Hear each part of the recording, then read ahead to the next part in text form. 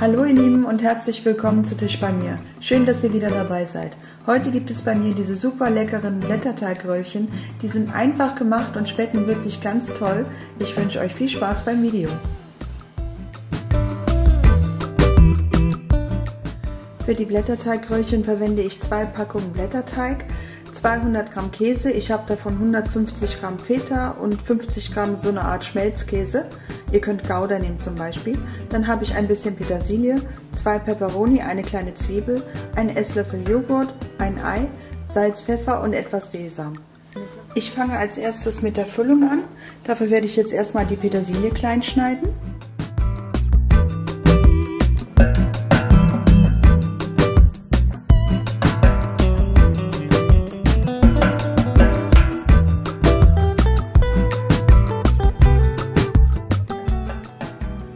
Beiden Peperoni und die Zwiebel werde ich jetzt auch noch klein schneiden und zu der Petersilie geben.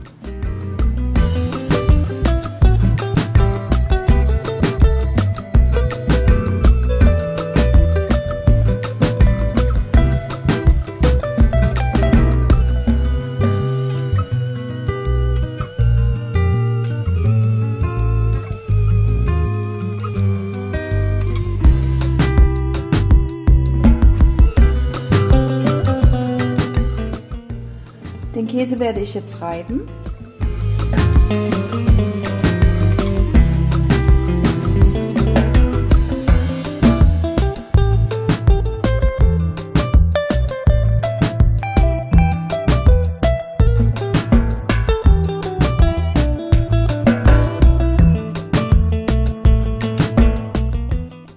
Dazu gebe ich jetzt noch ein bisschen frisch gemahlenen Pfeffer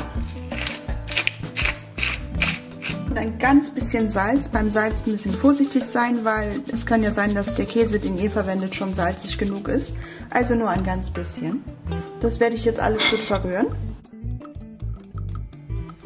Eigentlich kann man dafür jeden Käse benutzen, den ihr habt. Ihr könnt auch damit restliche Käsesorten, die so im Kühlschrank schwören, einfach gut verwerten. Das ist immer sehr praktisch.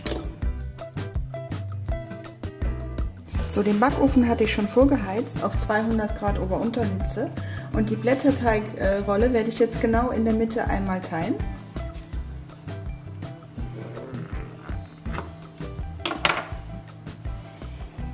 Und ich hatte ja ein Ei und von dem Ei werde ich jetzt so an der Seite so ein bisschen von dem Eiweiß nehmen, so ein bisschen mit einem Pinsel und werde die Kanten von äh, jedem Rechteck ähm, bestreichen.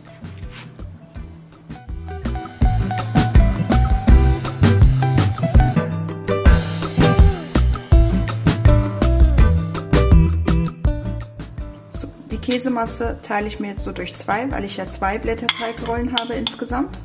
Und dann nochmal die Hälfte davon. Und das gebe ich jetzt auf die Rolle. Ich nehme mal die längere Seite.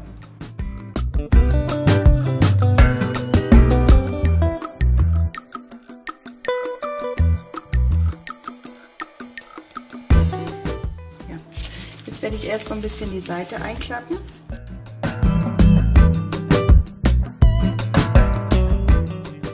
Dann wird es gerollt.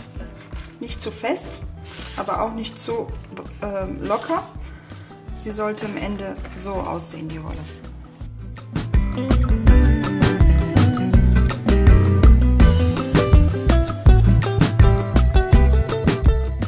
Man kann das auch wunderbar mit Hackfleisch füllen.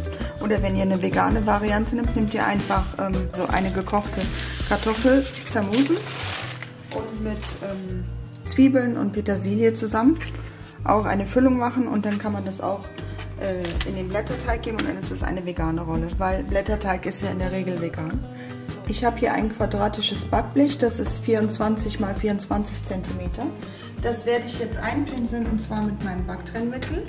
Ihr könnt ähm, das Backblech äh, einfetten oder ihr nehmt Backpapier, beides geht.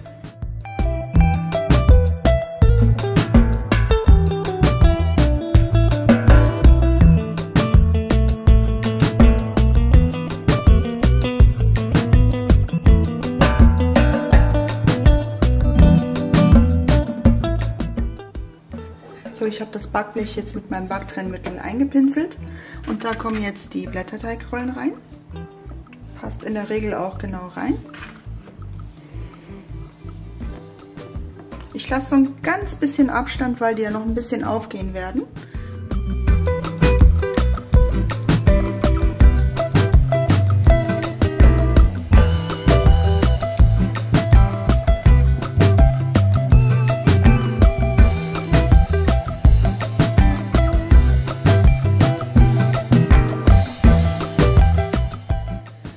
Als nächstes nehme ich das Ei und hier habe ich circa einen Esslöffel Joghurt.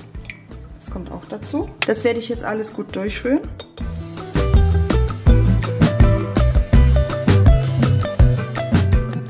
So, das Ei und der Joghurt haben sich jetzt gut verbunden.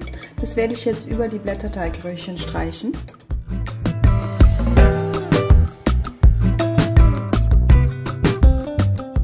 Mit einem scharfen Messer werde ich jetzt ein paar Ritze in die Blätterteigröllchen machen.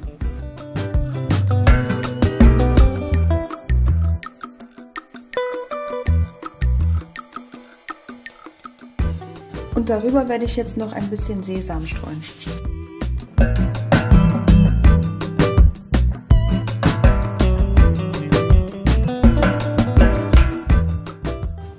Blätterteigröllchen sind jetzt fertig für den Backofen. Den Backofen hatte ich ja schon vorgeheizt auf 200 Grad Ober-Unterhitze.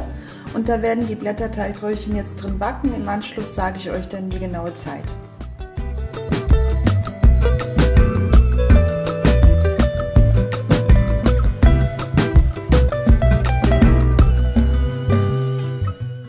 Die leckeren Blätterteigröllchen sind jetzt aus dem Backofen raus.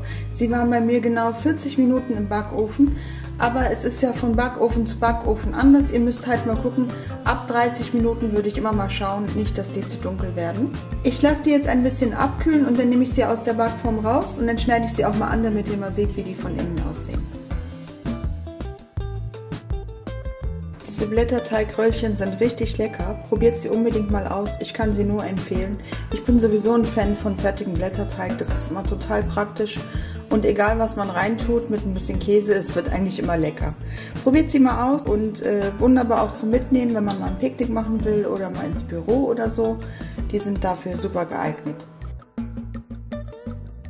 Wenn euch mein Video gefallen hat, freue ich mich über einen Daumen hoch und vergisst nicht meinen Kanal zu abonnieren und das kleine Glöckchen zu aktivieren, damit ihr immer sofort Info bekommt, wenn ich ein neues Video hochgeladen habe. Macht's gut, tschüss, bis zum nächsten Mal.